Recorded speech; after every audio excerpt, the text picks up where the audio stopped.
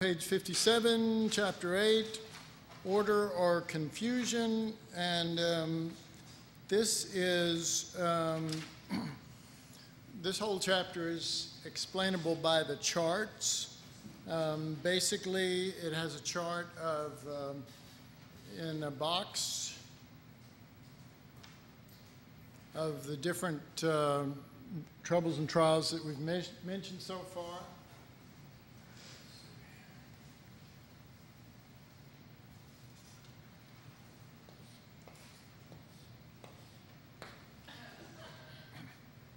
Not T plus T. It's okay. The, the box it looks something like this, and it's got let's see what we got one, two, three, four, five. Okay. One, two, three, four, five. All right. These are the, in this box are the five circles, and the first one represents chastisement. This is second one is the sufferings of Christ. Third one is the testings of God. Fourth one is the tempting of Satan. The fifth one is common afflictions. But I also drew this little bottom thing here and just called it TNT, troubles and trials.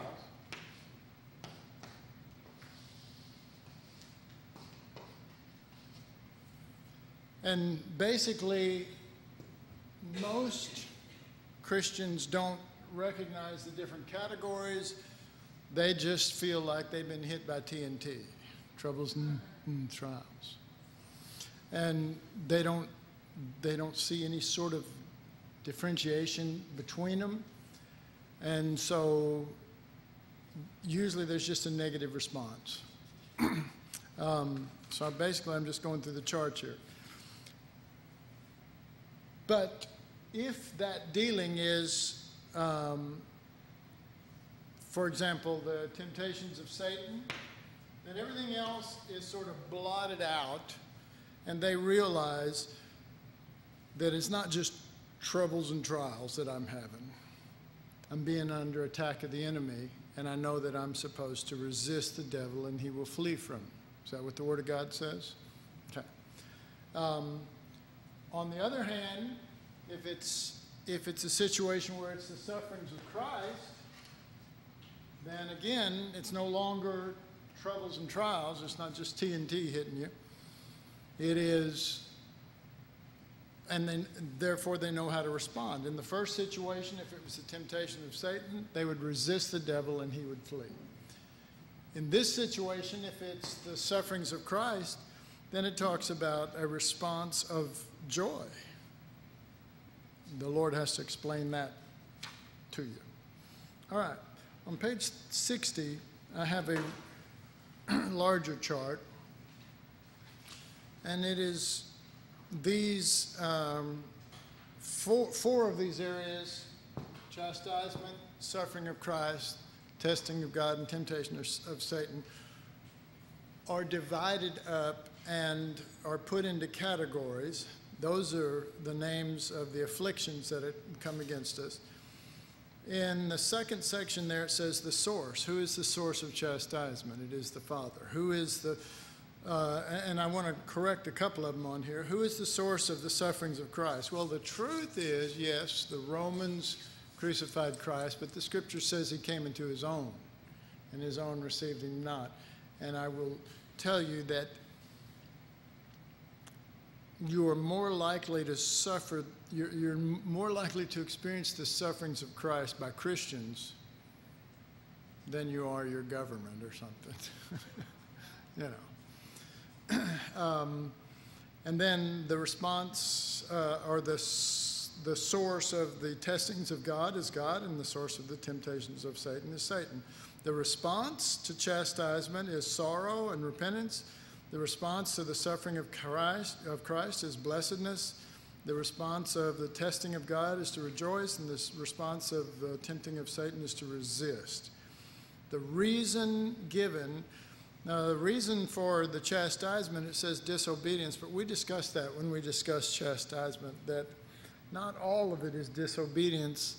Some of it is that God has to bring us into an understanding of things that we don't understand as yet. It is correcting our course, but it's not just because you're just wrong or evil or something like that, okay? All right. Sufferings of Christ. Usually you suffer because you're, I put obedience, but it means you're in tune with God. You know, you're, you've been with the Lord and people are attacking you not because you're bad, but because you're with the Lord. Um, the testing of God, the reason is um, because it's a test. Temptation of Satan, the reason is because it's temptation to disobedience. Okay, and then the last category is that whose choice is it to bring this about?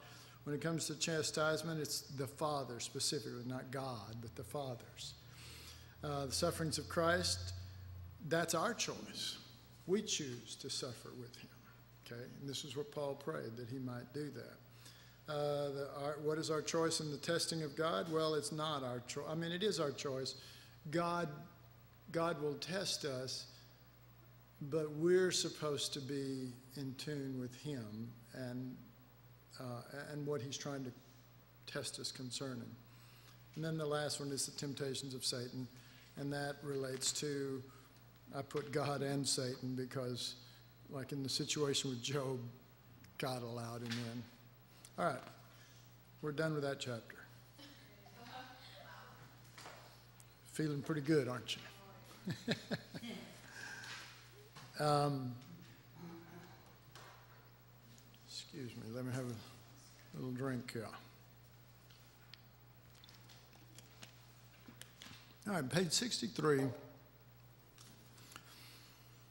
The, it's chapter 9 and it's called Labor Pains.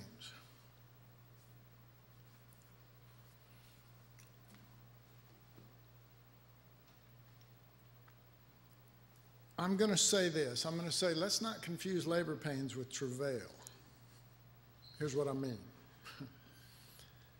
it is the same thing, but it's not the same thing in religious definitions. Travailing is a thing that uh, religious people have picked up, and it is travailing not that Christ may come forth, but just probably considered a deeper form of, of prayer. Wouldn't you say that, John? Yeah. And, uh, and I'm all for, God knows, I'm all for deeper forms of prayer. But I think we need to be, I think we need to be clear on our definitions, and then our definitions should line up with, with God's definitions. So what I'm going to do is I'm going to run you through a few scriptures here uh, before we talk about it. The first one is Galatians 4:19. You're well familiar with it.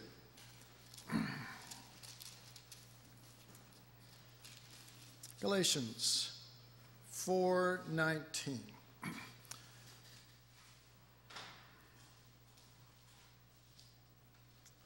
This is Paul speaking to the churches of Galatia.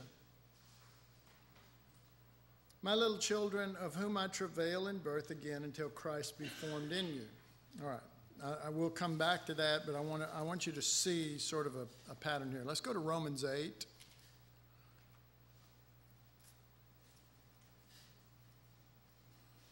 Romans 8.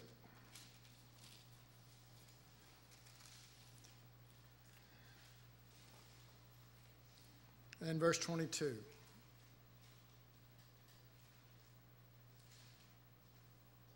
Um,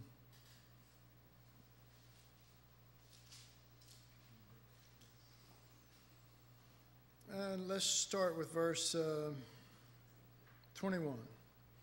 Because the, the creation itself also shall be delivered from the bondage of corruption into the glorious liberty of the children of God. And I, I think that word, Mallory, is that word sons of God there? This is uh, Romans 8 21. Anyway, if you can, if you can check it out. Uh, for we know that the whole creation groaneth and travaileth in pain together until now. And notice the groaneth and travaileth. And this is, um, this is a waiting a waiting. This is the creation um, is not settled. It is not at ease. It is not uh, uh, at rest. It is travailing. It is travailing for the sons of God. Did you have a comment, Jim? Verse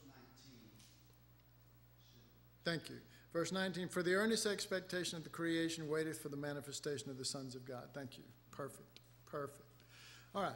So there's an expectation, and you know, if a woman gets pregnant, there's an expectation, right? I mean, there's not just, uh, well, I guess I'm just going to get fat and that's going to be it, you know what I mean? Or, well, you know, get larger because I got a baby here. Or that, you know, um, this is just a passing fad. I mean, uh, I remember when I was uh, went into the military and uh, had a friend. He was 17 years old. He was already married and his wife was already pregnant. And so he went into the military to, to get some money to try to help him through. And he was a good guy, but man, he was just 17, you know. And, uh, and at that time, I was a big 19.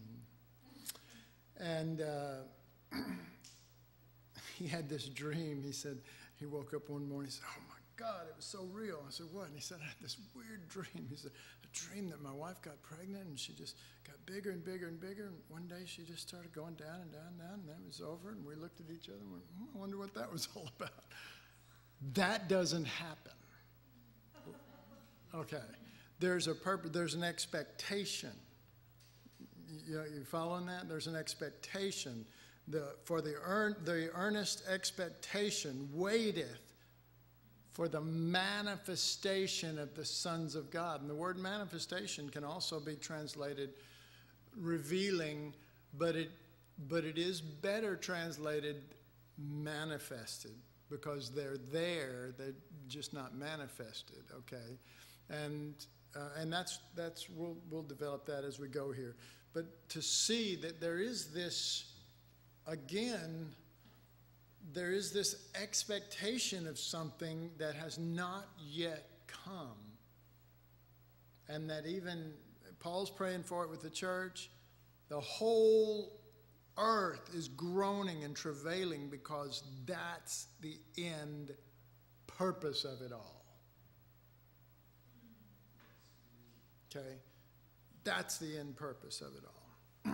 all right, and then finally, um, John chapter 16.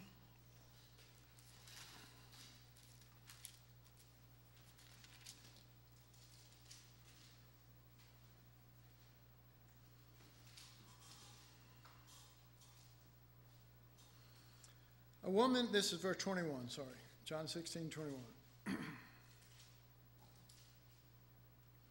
A woman, when she is in travail, hath sorrow because her hour is come.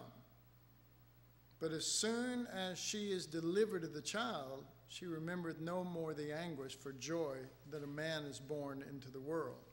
All right, so Jesus is actually equating this, if you check the context, he's equating this to his death and to his coming forth, his resurrection.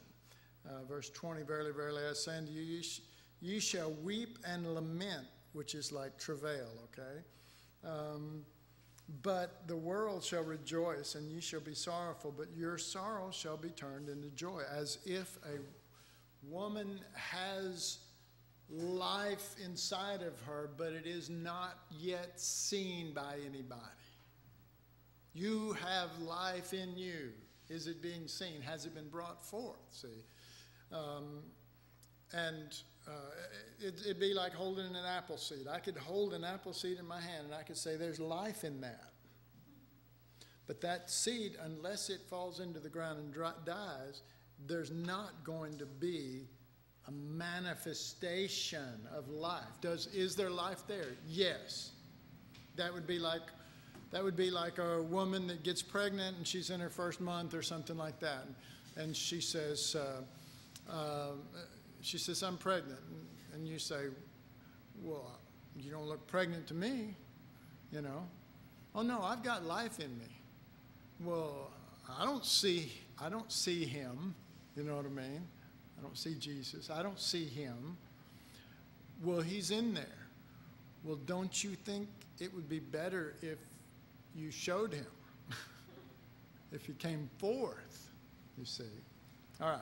So um, there, is a, there is a travail, but this travail is to bring forth Christ. Okay. That's either Christ or Christ in you in the terms of being um, sons of God, the manifestation of the sons of God. Sons in the image of Christ, sons that are going, that their purpose is to be the vehicle of his expression in the earth. Right. So, um, uh, you see, and we've talked about some of these things before. Over in uh, Galatians 4, we talked about this some time back, but it applies in this situation again. Galatians 4, verse 1.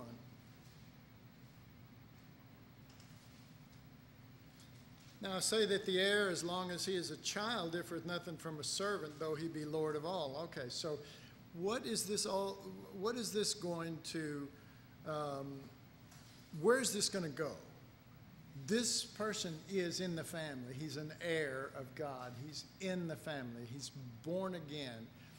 All right. Well, here's where it's going to go, and here's the end. Not the salvation, not not a great harvest at the end of the world as people think of, of souls, but a great harvest of the seed of Christ coming forth in the church. Okay. Now, I don't mind personally if there's a great harvest of people getting won to the Lord at the end, but you've heard me talk quite a bit about it I, and, and point to many scriptures. And this, this is another example right here. Okay, so the, you're in the family. What's the end goal? What is the thing? For you to become a great evangelist so that you win all these souls at the end, so that this is the, the harvest is a harvest of souls. No, the harvest is a harvest of the seed that was planted in the dirt. Okay. the seed was already in it. And so you see that in verse uh, 5 uh, or 6. And because ye are sons now, God hath sent forth the Spirit of His Son into your hearts, crying, Abba, Father. And, and so now you're no more servant. Now you're no more, you know, and this is this all relates to the Father's dealing with us. The Father deals wants to deal with us as sons. He either deals with us as children or as sons. If he deals with us as sons, he deals with us as Christ in us. He he says, "You want the Son to come forth, and I'm going to do everything I can to bring him forth in you." All right. But now we're talking, you know, we're talking about troubles and trials. Well, labor pains is a trouble and trial. You know what I'm saying? Uh, ask any woman. You know, it is a it is a trouble and a trial, and it is going through a lot of anguish. Well, Jesus spoke to that. And he said, Now, there is travail and he was he was speaking of his death. Remember that? I mean, 16, John 16. Read it real. I mean, if you get a chance, just read it real close, all the context and stuff. This is his explanation of what's going on. He's not saying, "Well, I'm just going to die and then you know I'm going to be resurrected." That's, I mean, that's kind of the way we all see it. You know, well, Jesus died and he rose again, but he sees it as a, a giving of birth life comes out of death, and birth, you know, how would you say it? Birth comes out of travail. Birth, birthing, bringing forth Christ. And so it is in the Father's mind, He's got one goal then.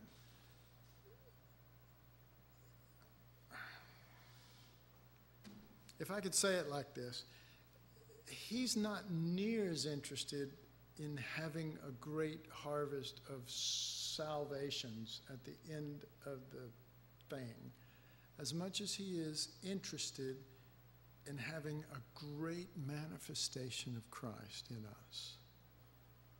A great manifestation. Oh man. If you understood that, then you, you would understand the last feast. You would understand the feast of the ingathering. It's not, you know, oh, a bunch of dirt received seed. No, a bunch of seed that was in the dirt has brought forth manifestation of Him. That's the feast of the ingathering. That's clearly what it's, it's talking about in the Old Testament. All right, so are you a son or a child? Well, if you're, this says, um, let's read verse 1 again. Now I say that the heir, as long as he is a child, differeth nothing from a servant, though he be Lord of all, but is under tutors and governors until the time appointed of the Father. Okay, these tutors and governors, these are people that are servants to the master. I'm giving you the Old Testament meaning. They're servants to the master to take care of that kid and to train that kid, but to, but to bring him to brokenness. But no amount of tutors and governors makes a son, makes a child into a son. Uh, They don't do it, I'm sorry. They bring him to a certain state of brokenness. We can understand that brokenness, but when you get to that, that state of brokenness, then rushes in the spirit of his son crying, Abba, Father. It doesn't cry, I'm free, or you know, whatever, all the things that we would think, all the religious things that we would think, well, Jesus is in me and now I'm I'm healed or I'm this and that. No, it cries, Abba, Father, because it is pure Son. Pure Son. Okay. Once that's the case, everything, everything changes then, okay? So those tutors and governors, we go, why, why, you know, and this is another example because it's, it's just trying to bring us to labor pains, you know.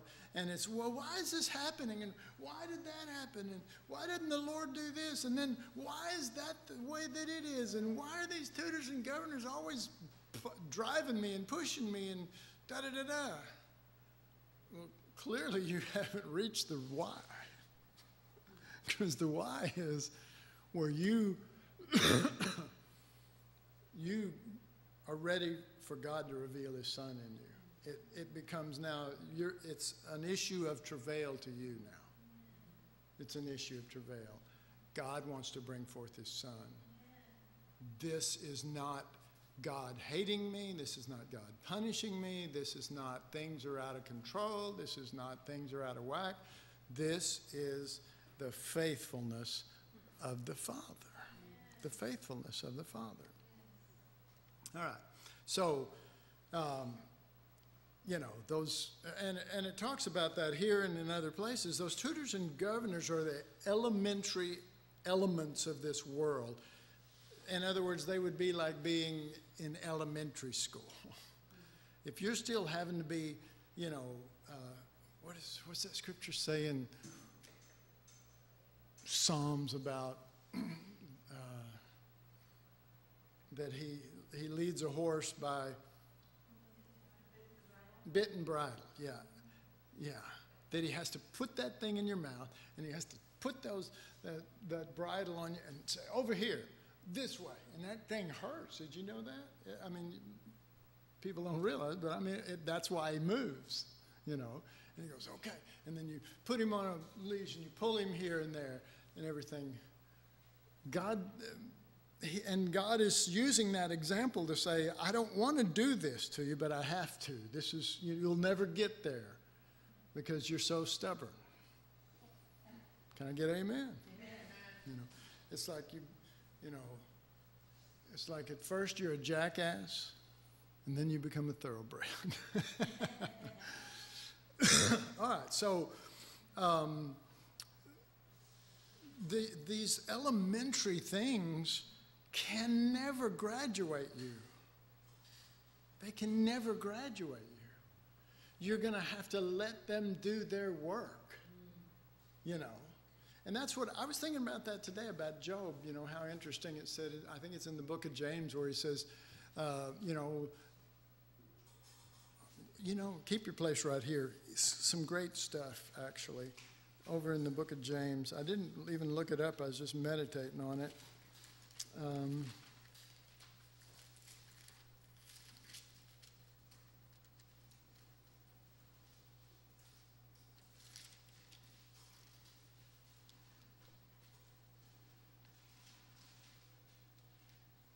Yes. Okay, uh, it's James chapter 5, verse 7. James 5, 7. Be patient, therefore, brethren, unto the coming of the Lord. Okay, so, so our main picture that we get is that he's going to come in the skies. Okay, but he's going to give an he's going to give a different example. Okay, he's going to give an earthly example. he says, "Be patient." Okay, so this patience. Let me let me explain it. Uh, you'll see it shortly. This patience has to do with revealing Christ in you. Because what is it going to what is it going to get to shortly? The patience of Job. What was the what was the fruit of the patience of Job, of his patience? And that God was commending a man for his patience. He wasn't just going, well, you know, it's good to have patience. This was, look, if anybody ever went through crap, Job went through it. Okay?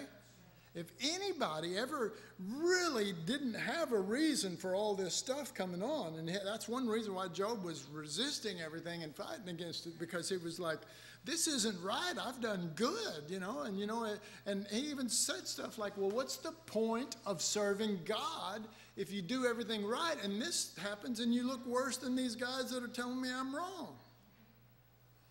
All right you know, great human arguments. They are. They're great human arguments. The problem with it is that God is trying to reveal his son in Job, okay? That's the goal. Then when that happens, end of story. Uh, there's a little more, and I'd love to share it with you. It's even better than you think. But I don't want to get off too much. So let's look at this. So be patient, therefore, brethren, under the. Uh, okay, so there it is. He didn't just say, be patient Christians. Buddhists, be patient. Uh, Hindus, be patient. Christians, join in. You be patient too. No, be patient in these trials. I mean, pretty much all we know of Job was trials and everything being taken away. He didn't start, you know, by gaining all this. He's already reached what we would call the pinnacle. This is it. We have done it right. And then, then God goes, and then the whole book is about bringing him into the revelation of Christ. Okay, I've seen, I've heard of thee by the hearing of the ear, but now I see thee face to face, and I abhor myself and repent in dust and ashes. Okay, there's the, consider the end of Job and his patience. Look at the example. Behold, the farmer waiteth for the precious fruit of the earth. Anybody see? Do you see that? This is patience for the harvest. The harvest is the coming forth of Christ, and he proves it by using Job just a few verses down. Okay? Precious fruit of the earth, and hath long patience for it until he receive the early and the latter rain. Okay, so he's the, the farmer goes out, he goes, okay, I want the Lord. I want the coming forth of the seed. I got a lot of seed, you know. You can hold it in your hand, you know. You could reach into a bag and go, look, I got life, I got seed, I got stuff. But this farmer says, no, I want the manifestation of the seed of Christ. All right, so he goes out, he looks at his hard ground. And get amen. he looks at his hard ground and he goes, Oh boy, you know, I need tutors and governors. You're going to break up the ground. You, folks, you can break up the ground. You can become broken and soft and still not be what God wants. He wants you broken and soft so the seed can come in you and then eventually bring forth. All right? But there ain't going to be any seed coming forth. I mean, the parable of the sower tells us that if we're not broken and soft. Amen? I mean, they're, I mean, come on. You know, that is a prerequisite. That's what's called, that's what he calls good ground.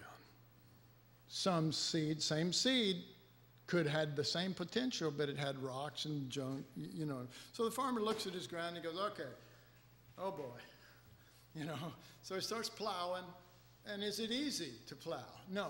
Is it easy when when you hit a big rock and it breaks your blade? Is it easy when your horse breaks a leg or something like that? You know, I'm, I'm thinking of the plowing in those days, you know. And so all of these trials are hitting you because what?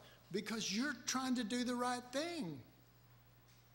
You're trying to have a harvest of the seed. Okay, so then you plant the seed, and then the fowls, all these birds, all this stuff, you put up a scarecrow, and then the beetles and stuff start coming, and da da da da, and you're just going, it seems like er, God is against me trying to do his will. Anybody ever felt that way? Yep. okay, good. Because that's probably a good sign. I'm you know, Job did too. See, it talks about the patience of Job, but all it means is that he kept going even though he got mad. All right, just remember that. All right. So, so it says, you know, so he, he, after going through all of this stuff and after a long period of time, all of a sudden, the thing that it was all about. See, it never was about not having worms that eat your thing. You know what I mean? It wasn't about not having rocks that broke your thing, set you back financially, made you have to go into town, all the way into town, buy it, come back, put it on, da da da da, sweating, hot, da da da da. Okay, so behold, the farmer waiteth for the precious fruit of the earth and hath long patience for it until he receive the early and the latter rain. All right, the early rain is when it falls on us and we're going, woohoo! This is the early part of the revelation of Christ. Whoa! Seeing Jesus is just so good. You know, I love this. Yeah, keep those arms up because we're going to nail you up here in a minute. anyway, stay right there. and then the, but then the latter rain, you're just like, oh my God, please, I need, you know, you know long, long patience, you know. Okay. Um, verse 8 Be ye also patient, establish your hearts, for the coming of the Lord draweth nigh, meaning it's, it's coming.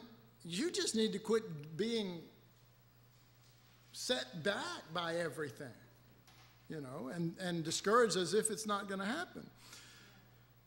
Verse 9 Murmur not one against another, brethren, lest you be judged. Behold, the judgment standeth before the door. Okay, and, and why would they throw that in in a situation like that? Well, my God, isn't that exactly what happened in the wilderness when they're trying to get into the promised land and they start way back here at Egypt and working?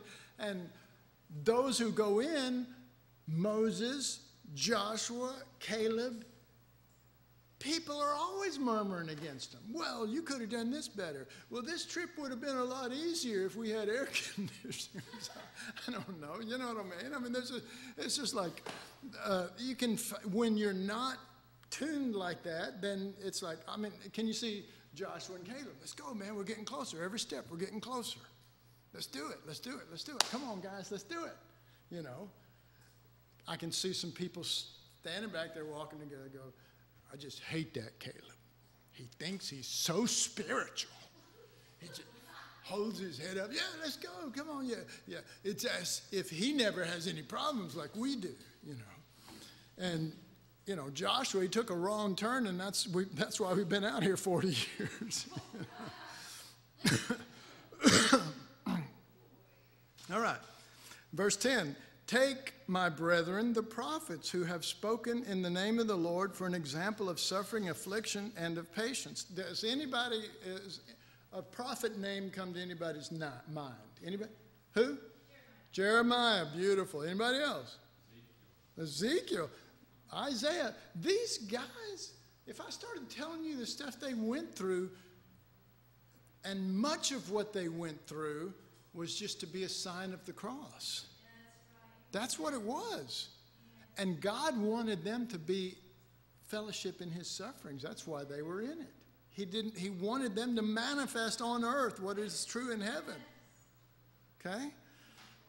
All right, so uh, then next verse, verse 11 Behold, we count them happy who endure. Okay, so there it is. We don't count them happy who are going through the process, but who have endured. Who have, made it to the end. Okay, so, so you have heard of the patience of Job and have seen the end of the Lord. All right, glory to God. What wording? Can you get any better than that? You got the patience of Job going through all this affliction, but then you see the manifestation of what? The end of the Lord. This is what God had in mind. And now he sees he sees the Lord and all of a sudden he goes, "Oh man, you know, I was so self-righteous and I thought I had it together and now I abhor myself, but now he sees the Lord. Now he sees the Lord. And that the Lord was very pitiful and of tender mercies. Okay. Now, do you think during the majority of the book of Job that he thought that the Lord was very pitiful and of tender mercy? You, you can read his own words. he didn't. Okay. So, what does that say? Because he did find the end of the Lord, did he not? Yes, he did. Okay, so what does that tell us?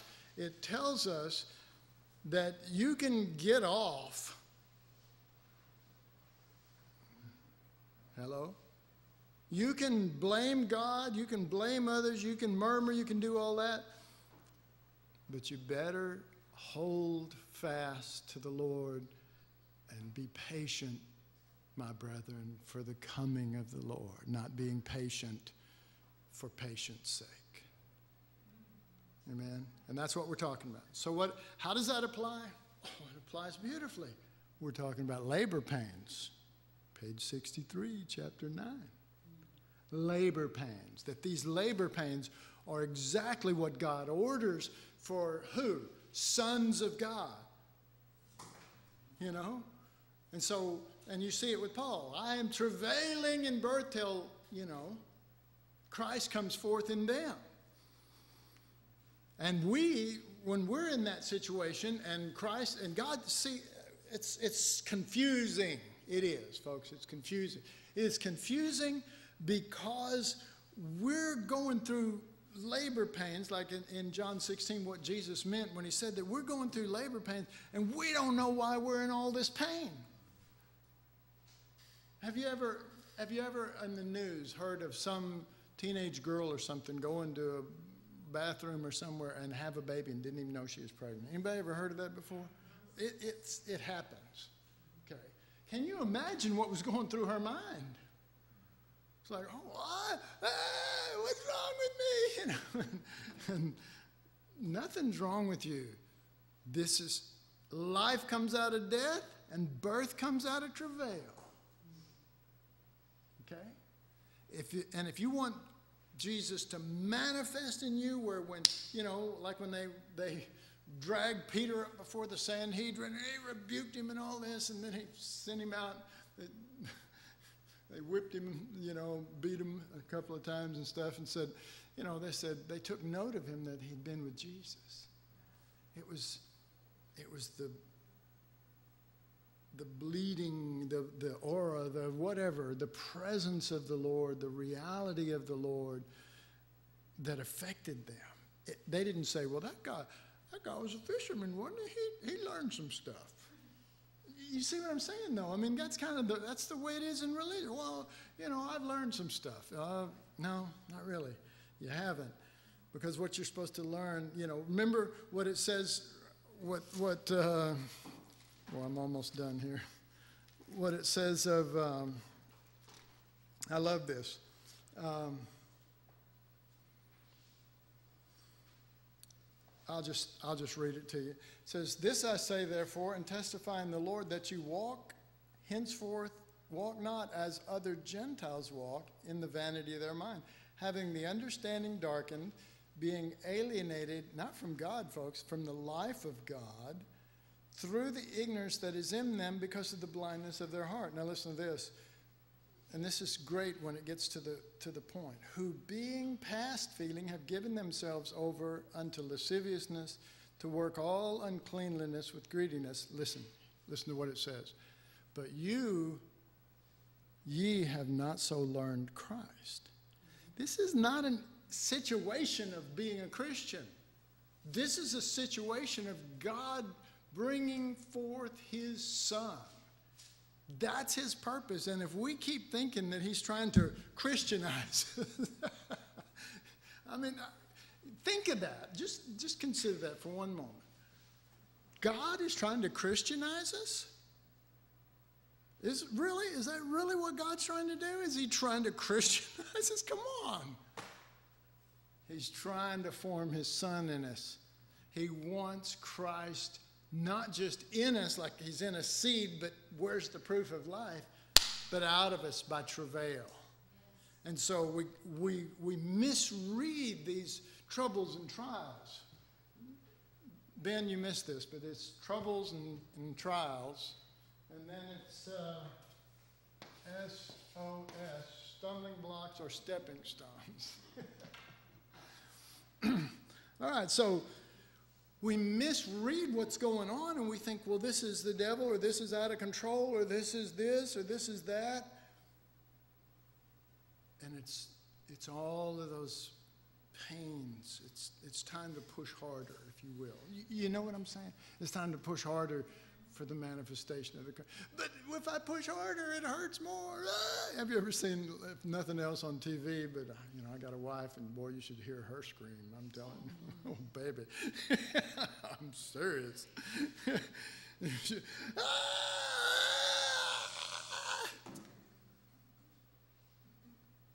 and then Jesus says in John 16, but when it is delivered, there is joy that, uh, that life has come forth. Life has come forth. You tell me that's not the grandest end of Christianity. Christ coming forth in his body, the deserved one coming forth in his body. Finally, it's not us coming forth in his body. Thank God. Thank God. Thank God. Don't you love it? Don't you love the Lord?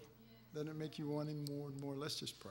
Father, we just thank you. We thank you for your grace and your mercy. We thank you that your compassions fail not.